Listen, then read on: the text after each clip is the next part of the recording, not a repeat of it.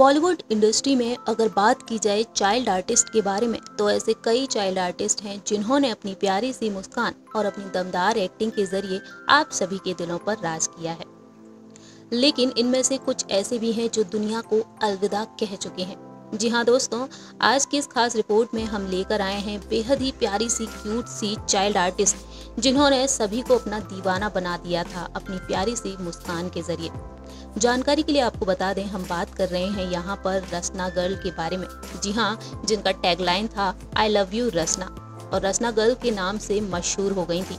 अपनी प्यारी से स्माइल के ज़रिए हर किसी के दिल पर राज किया था। जानकारी के लिए आपको बता दें कि इस चाइल्ड आर्टिस्ट का नाम था तरुणी सचदेव, जिन्होंने घर घर में पहचान बना ली थी रसना गर्ल के नाम से। लेकिन तरुणी सचदेव का जब निधन हुआ था तो पूरा बॉलीवुड इंडस्ट्री ही टूट गया था।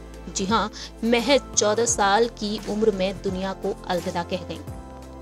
जानकारी के लिए आपको बता दें कि तरुणी सचदेव का जन्म मुंबई में 14 मई को साल उन्नीस में हुआ था। वहीं महज पाँच साल की उम्र में ही तरुणी ने कैमरा लाइट्स और एक्शन की दुनिया में कदम रख दिया था और कई एड फ़िल्मों में काम किया। वेल well, दोस्तों आपको बता दें चाइल्ड आर्टिस्ट के तौर पर तरुणी सबसे महँगी चाइल्ड आर्टिस्ट कही जाती थी। जी हाँ काफ़ी रुपए कमा लेती थी अपनी एड फ़िल्म के ज़रिए तो वहीं अपनी क्यूटनेस के लिए काफ़ी पॉपुलर हो चुकी थी। सबसे पहले हम आपको बता दें कि आखिरकार इस करियर में तरुणी ने कदम कैसे रखा था। दरअसल, मुंबई में ही इन्होंने अपनी स्कूल की पढ़ाई की थी और माँ गीता सचदेव मुंबई के इस्कॉन की राधा गोपीनाथ मंदिर की एक भक्त मंडली की सदस्य हुआ करती थी और उस दौरान अपनी माँ के साथ मंदिर जाया करती थी। वहीं पर त्योहारों में नाटकों में हिस्सा भी लिया करती थी, लेकिन तभी किसी की नज़र तरुणी पर पड़ गई और उनकी प्यारी सी मुस्कान ने हर किसी का दिल जीत लिया। उसके बाद तरुणी को काम मिलना शुरू हो गया। रचना गर्ल के नाम से मशहूर हो गई और इसके बाद कई प्रोडक्ट्स के लिए एड फ़िल्में भी की। जैसे कि ICICI bank Reliance mobile LG coffee bite gold winner Shakti Masala और कॉलगेट इन तमाम एड्स में तरुणी नज़र आई और हर किसी के दिल पर अपनी क्यूटनेस को लेकर छा गई। इतना ही नहीं, तरुणी ने साल 2004 में फ़िल्मों में काम करना शुरू कर दिया। उन्हें पहली फ़िल्म मिली थी मलयालम फ़िल्म और इस फ़िल्म के ज़रिए वो फ़िल्मों में एंट्री कर चुकी थी।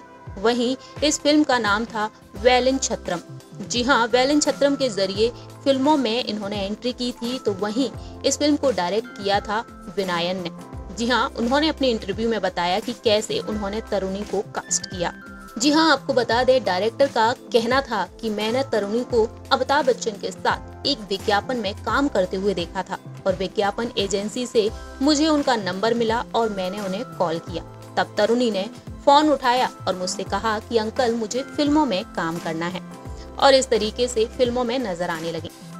तरुणी ने न सिर्फ़ फ़िल्मों में काम किया, बल्कि शाहरुख खान के टीवी शो, क्या आप पांचवी पास से तेज हैं मैं, तरुणी एक कंटेस्टेंट के तौर पर पहुँची थी। वहीं इसके अलावा तरुणी नज़र आई अमिताभ बच्चन के साथ फ़िल्म पा में, और उस दौरान वो उनकी स्कूल की दोस्त बनी हुई थी। लेकिन दुखद संयोग ये है कि तरुणी दुनिया को अलविदा कहकर जा चुकी है। जी हाँ आठ साल बीत चुके हैं। दरअसल आपको बता दें कि 14 मई को जन्मी थी तरुणी तो वहीं 14 मई के दिन ही उनका निधन हुआ था। 14 मई को एक दर्दनाक हादसे में दुनिया को अलविदा कहकर गई थी। नेपाल के Agni air flight C H T plane crash में उनका निधन हो गया और उस दौरान उनकी माँ भी उनके साथ थी और उसी समय दोनों ने ही दुनिया को अलविदा कह दिया। दरअसल पश्चिमी नेपाल में एक विमान क्रैश हुआ था। विमान में 16 भारतीय थे तो और भी तमाम लोग उसमें शामिल थे। वहीं उसी दौरान ये हादसा हुआ और इस हादसे में करीब तेरह यात्री और पायलट क्रू के दो सदस्यों का निधन हुआ था।